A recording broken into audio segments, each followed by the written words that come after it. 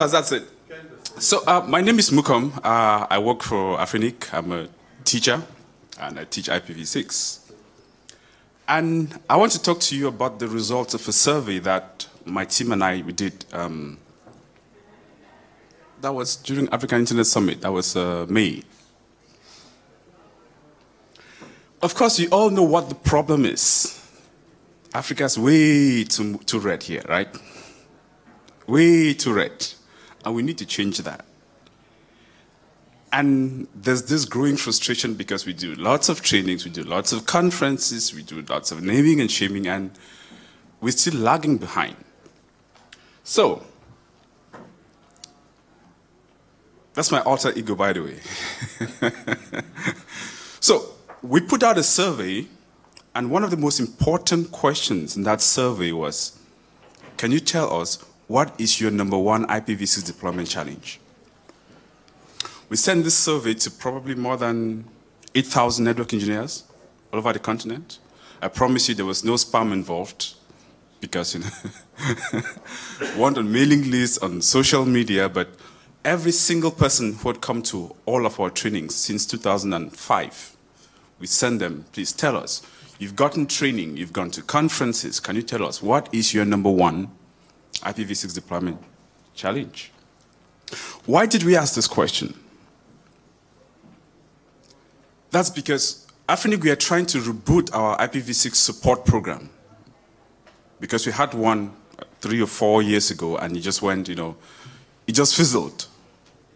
And so we thought, let us ask the people who should be doing something but aren't what the exact challenge is. First of all, asking that question and doing this survey will help us clarify the exact problems in the words of the people that should be deploying but aren't. Secondly, it will help us figure out what should we be measuring in terms of you know, leading measures. If I could just ask, what's the difference between you know, um, a scale for measuring your weight and a smartwatch? There are two devices that might help you accomplish the same thing, right? A measuring scale, you, you step on it at the end of the month to check your weight. And then you've got a smartwatch. A measuring scale gives you something we call a lagging indicator. You don't, you, you won't know until after one week or after one month. That's exactly what the APNIC stats, that red map, that's what it tells you. Useful for making presentations at conferences like this. Totally useless for helping people push them into action. So we need different sorts of measures. And that's why I brought the analogy of a smartwatch. How many people have ever gone to the mall and parked a bit further just so that they could walk? Why did they do that? Because they had something on their, on their wrist that says, you know, you have what, 2,000 more steps to go today. That's an example of a leading indicator. So the hope was that when we do this survey, we'll get some ideas about what good leading indicators to start tracking an Afrinic. Then, of course, there is what are we going to do as Afrinic to support its deployment? And all that thing you see there, that's what we call scientific guesswork. Anything we do, we'll only keep doing it for so long as it actually drives some kind of indicator. If it's not driving, one or two quarters down the road, we've got to drop it. So that's why we're doing the survey. So the two parts to the survey, so, survey there is, of course, we ask the normal questions to get to some context. Uh, what's your role? Network engineer, manager, uh, project manager, consultant, other. Uh, what kind of network do you work at? Service provider, data center, uh, campus, large and small. Um, so, we, so that's quantitatively. And then we ask, can you give us the status of IPv6 deployment at different parts of your network? At the edge, at the core, on the access network, or on the content side? So, you know, it's done in progress, some testing, not started. So it's just quantitative. But again, those were just to provide context. But the most important question was that open-ended question. What is your most significant deployment challenge? So, you got 690 responses, but that pretty much covered almost all of Africa. And yes, we did get some responses from the US and from Eastern Europe. 41% of them were French, and 59% were English speaking. So the top 50 respondents came from the following countries Nigeria, South Africa, Cameroon, Kenya, Togo, Mali, Benin, Cote d'Ivoire, Tanzania, and then Zimbabwe. So, which means the, the, the, answers that you're going to see are pretty much representative of these countries. Now, let's see what is the status, the deployment status by different types of network as reported in the survey. Data center, mm, everyone who self-reported work at a data center, the key thing is to look done in progress testing. If you see lots of tall bars here, that's bad news. So, data center, not much happening.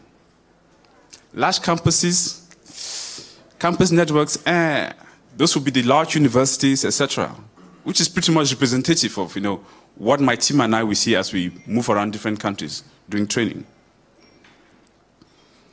Small to medium campuses, just nothing happens which also makes sense. It's consistent with, you know, what we've observed as we go around different countries.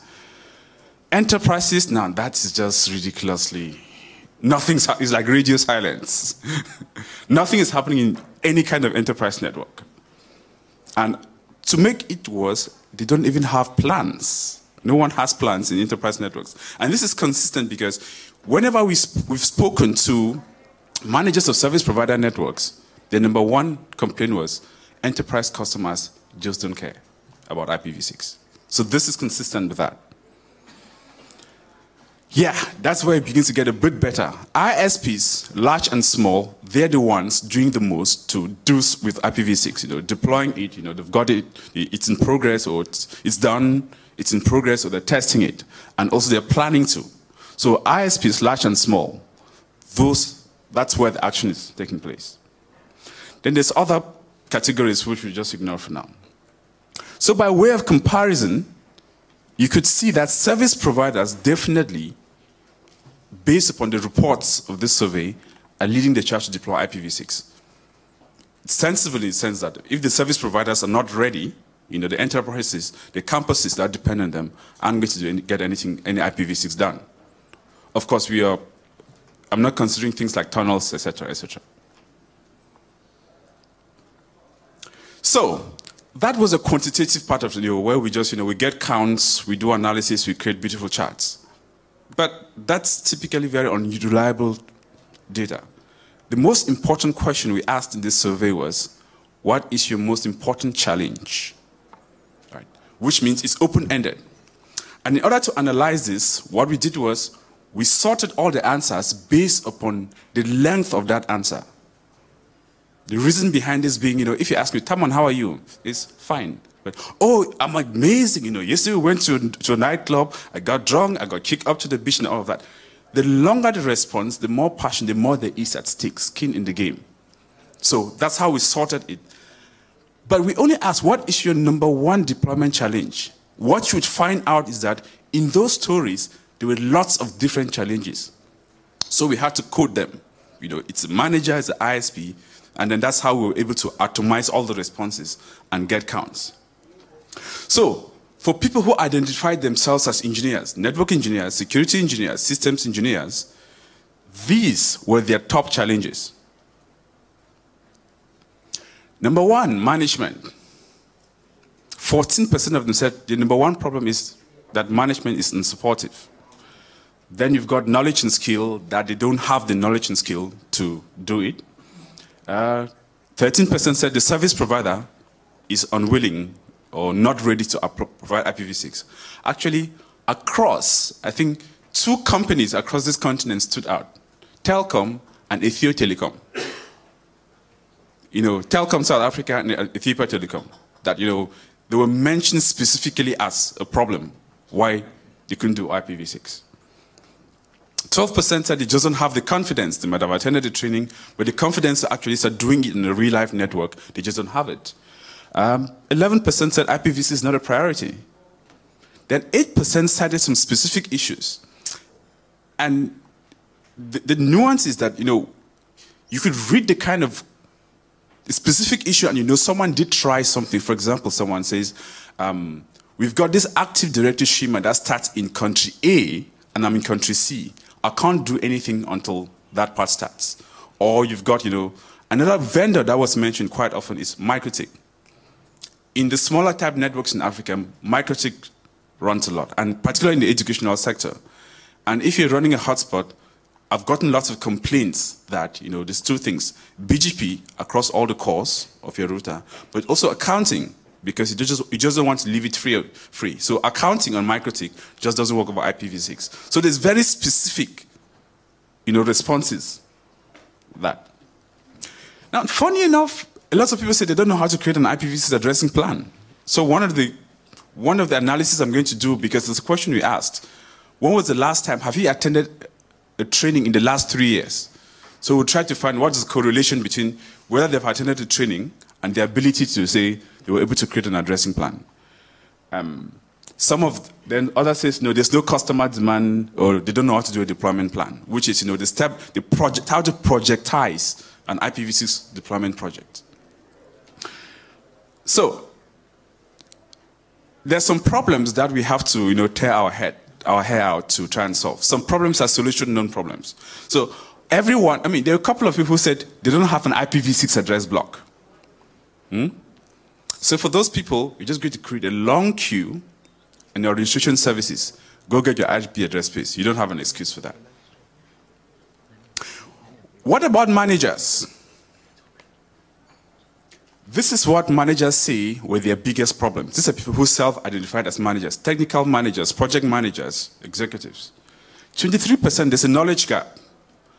Some of the responses indicated the knowledge gap on the they, they did not trust that their teams had the required knowledge to proceed with the deployment. Some of them actually said, no, I don't know what it takes to help my team do this project. 20% said we need a lot more guidance for ourselves and for our teams because they just don't want to, as they're trying to deploy IPv6, they break IPv4. 13% said it was the provider. 12% um, cited some very specific issues. 10% cited, you know, these legacy infrastructure problems. And curiously, managers said 6%. the problem is that managers.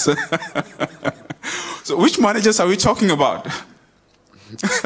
the guy's up, right? and of course, 5% said, said customer demand. But this particular, this particular data point, it was insightful because for, for almost four years, Afrinic, we've had an IPv6 program for managers, but it's just never taken off because somehow we've not been able to find the right audience. And that's something we want to reboot next year. But really, we would like someone that sits at that table when budgets are being made for the next year. That's who a manager is. Because if you're not sitting at that table where you can make those decisions, then you cannot secure the resources and do the politics to enable your IT team to deploy IPv6. So, there were some commonalities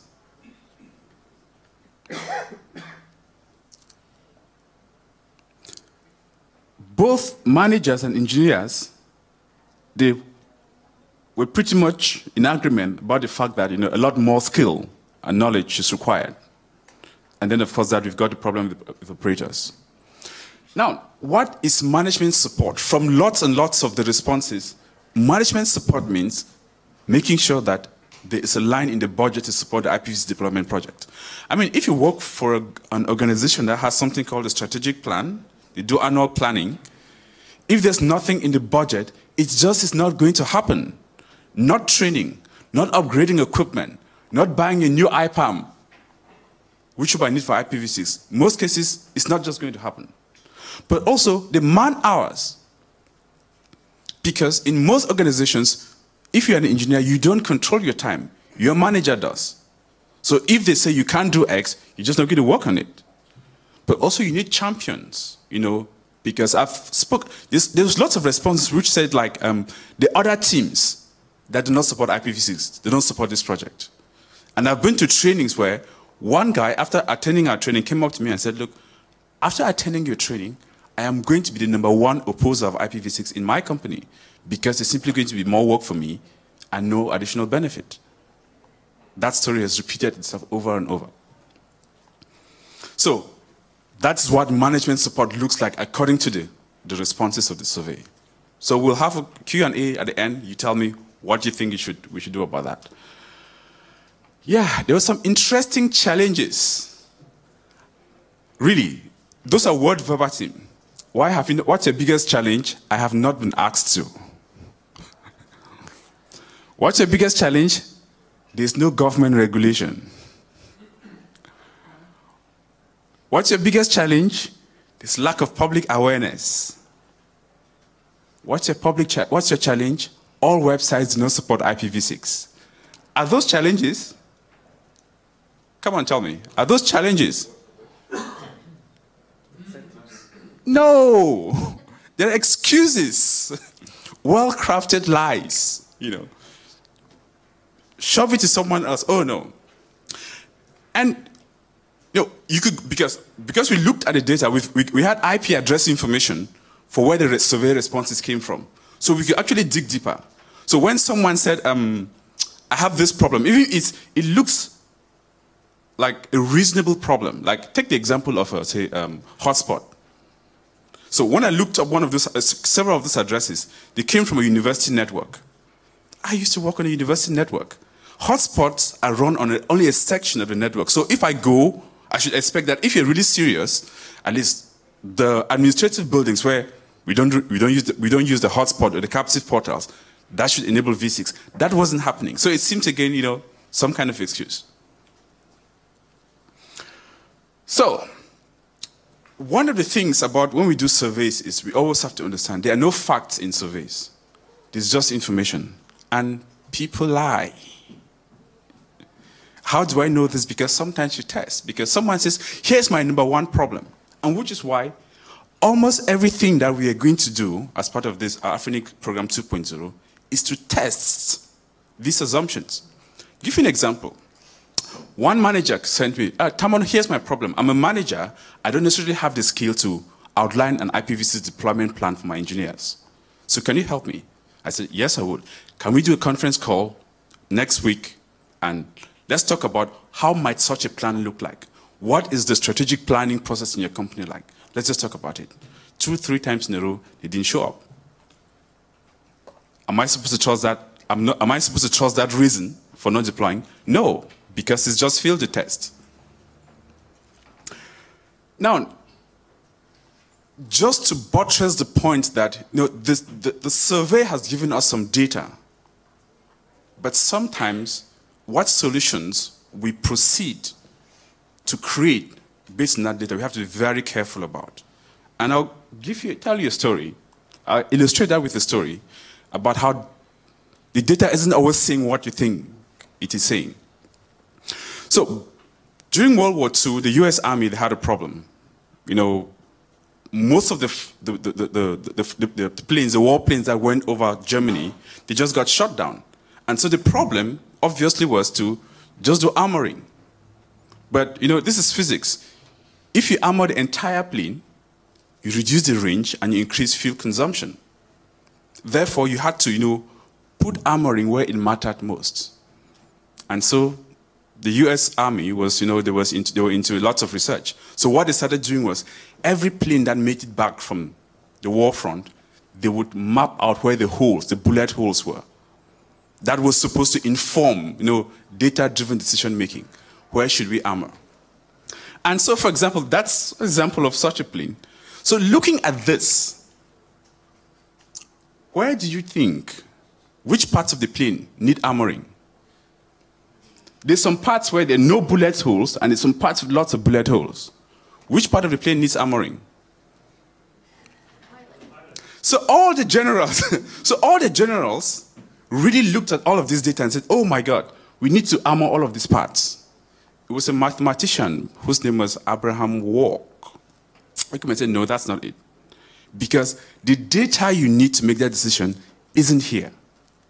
Because all, all planes, wherever you don't see bullet holes, all planes that were shot there did not make it from Germany for you to measure. So, yeah. All the, yeah. So this this is actually where, where there is no bullet hole, that is where the plane is much more, which is most vulnerable, right? This because the planes make it here despite all of these bullet holes. You don't need to worry about this part. And that is our biggest fear when we do surveys and you we get all of this. What exactly should we do with that data?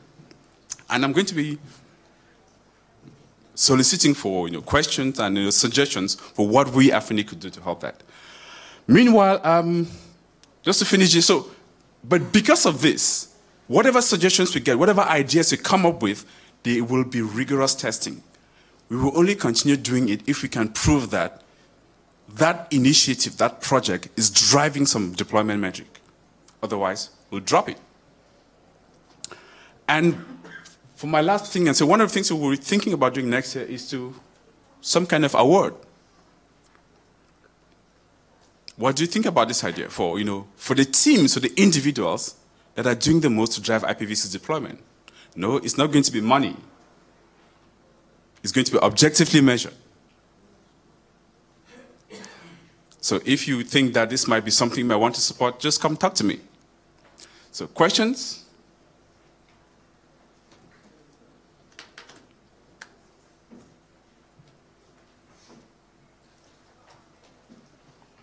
Hi, Andrew here from Liquid. Why am I always first in the queue? Um, I, I, I, just have a, a, comment rather than a question for all the people who responded that budget line items were necessary for management support and you needed budget line items. Quite frankly, those people need to get over themselves. There is no budget line item needed to do this. It's an excuse. The fact is that the hardware, anything modern, supports the V6 today. It's about doing the work. You don't need large amounts of budget. Believe me, if I went internally and asked for budget to do my V6, even inside a company the size of mine, wouldn't happen. We did it. So really, um, I know that engineers want money for fancy toys, but don't use it as an excuse to stop progress. Thank you. Saul. This isn't a defense at all. Um, there's no excuse not to deploy V6 in your network. Mm -hmm. It's, as Andrew said, resource and all those kind of things are just an excuse. Um, one thing in your website that's always concerned me is that, for example, I can't afford the V6 space I have. The V6 space on the website for anything greater than slash 32 is 20,000 US dollars. Now, I know it's always been said IPv6 is free mm -hmm. as long as you have a V4 address space. When V4 runs out, things are going to change things have to change. And what's the, what's the cost going to be then? And I think that could be a, I think maybe that's where um, money comes in. That's where the fact is, when, that, when it gets charged, what are we going to be charged? I know if, if I'm get charged $20,000 for my V6 space, I'm handing it back. Because uh, while, I, I, can't, I can't run a business without V6, I also can't run a business if I'm not making money. I totally understand that, and here's the here's the ways that um, lack of clarity around that pricing thing has you know influenced some of the things we do in trading. So, for example, Jan Zorz presented this uh, uh, BCOP about you know recommended prefix sizes. While it's okay for us to teach, it's okay do a slash protect of every customer. I've got lots of people saying, "Come on, who's going to pay for this when we actually have to pay for it?" Unfortunately, the guy who can give you the answer is standing right there, Alan Barrett, the CEO of Afrinic. yep. Um, hi. According to Afrinic's current fee structure, um, if you have V6 only and if it's more than a slash 32, then yes, there's some enormous charge, um, which really doesn't make sense. Um, the board has started a process of revising the fees, and I can't tell you what the exact results are going to be, but I, I, can tell you that um, it will not be $20,000 for a slash 31. Um, it'll be reasonable. Um, it'll be more or less the same as you would expect to, to pay for um, that order of magnitude. It's hard to explain. Um, the board will want advice from me, I guess, about what the fees should be. And I can't tell you what the board will do, but I can tell you what advice I will give. And that advice will be that a, a small sized V6 only ISP should pay roughly the same as a small sized V4 only ISP. Um, and so that will not be $20,000. Thank you, Alan. So hopefully that clears it up. Mark Elkins? Uh, Mark Elkins, more of a comment. I got my V6 almost 11 years ago. So for the last 10 years, I've been dual stacked. All my customers are dual stacked. I, I'm just wondering what all the fuss is about. Well, the Maybe I can answer that question because I'm Okay. just a bit scared that we're preaching to the converted here. Mm-hmm. Um, I had a slide up earlier on, and uh, there were the, the top three or top four basically account for 40% of our country or something like that. And I was wondering if anybody in the audience is from any of those top three. Do we have anyone here from Telkom, MTN, or Vodacom? So we, we, we- we're exactly not preaching to the, to the choir because, you know, the, the deployment dashboards don't show. South Africa and Africa is still largely red. So, and which which is why I say, when you measure at that level, we want to see the traffic, the V6 traffic actually passing. Because simply announcing, you know, I mean, in the early days, five years ago, you know, progress was, I've got a blog of, from Afrinic. Yay. But that really doesn't count. The next step which you not need to count is, you know, are you advertising it? Your website, is it ready? You know, are you passing something? Until you get to that point, we aren't there yet. Not even close. So, Another big challenge is customers. How do you get them, especially in the enterprise or industry, in, in the enterprise world? Mm-hmm. We, we're training our engineers to be V6 enabled. We, we, you've done all the training that you guys have done. Mm-hmm. We give it, give our staff time to play, and we, people, everyone's dual stacked and all those mm-hmm. fantastic things. But the guys in the enterprise, they've got so many different BUs business units and the security business unit won't touch anything because then the firewall unit has to do everything and then the networking unit guys they're so constrained from what they know and what they need to do they're not interested in it i went on a little exercise a few months ago to try and give our customers v6 the uptake i think we on the 10 customers i spoke to one was interested and unfortunately it's gone nowhere they, they're all interested a lot of them just say oh no we, we don't have the time management and I think maybe that's where we need to focus on is not the ISPs, but actually the, the corporates and the businesses. so I, I get your argument, uh, Saul. But here's the thing: for I would I would take that as an argument if you, you say on your, on your website anyone who wants IPv6 can get it, right? Because if you haven't, because there are lots of you know ISPs that are not offering IPv6. So the customers, even those who care, because there's lots of university admins who want to deploy IPv6, and they don't have the burden of uh, you know um, the burden of you know managers and all of that. But guess what? The ISP just won't. And sometimes it's simple things like I know one of the largest operators on this continent. I know people who are unable to turn up a BGP peering session with Nova V6 for six months. That's reality. So that argument holds Saul because one, you already you have, you have the ability to provide provide IPv6 to them, but some haven't done that. So we can't push it. So how about we do the things that are within our you know within our circle of control? Make sure we can provide transit, our websites where possible, and then also put it on our website. Because if I go to your website, if I come to uh, to to the eNetworks website, will I see something that says, if you are an enterprise customer on one IPv6, fill this form and we get to you? I mean, small things like that, I believe that are quite useful. Mitch? So, um, Michuki Mwangi, Internet Society. So there's a, a tool that we've been uh, we've developed and helps us get an idea of what's really going on with respect to IPv6, uh, not in terms of um, whether people are actually using it, but it, whether actually the prefixes are showing up um, on BGP. In BGP, yeah. and in particular at the IXPs. So the measurements that we're doing is uh, whether the announcements are showing up at the IXPs. So when I look at the tool with respect to South Africa, and this is again not uh, we we are not including NAP Africa in this um, um, in these measurements as yet because we're yet to get the tool in place. This is looking at uh, the INCSs, uh, so JINX, Yeah, DINX, jinx, uh, jinx, jinx. so 47% of all IPv6 blocks assigned to South Africa by um, Afrinic are actually being seen at the INCSs, and 53% are not. Now, if you want to do a comparison, 53% of the IPv4, um, sorry, 66% of the IPv4 uh, prefixes assigned to by Afrinic to South Africa are seen from the same same type of collectors. So it's actually not too bad if you think about it. 66% V4 um, and f- uh, 47% of uh, V6. It means quite a number of them are actually making the announcements on BGP at their local IX, which is really good. The question is, is it going all the way to the last mile or to the customer?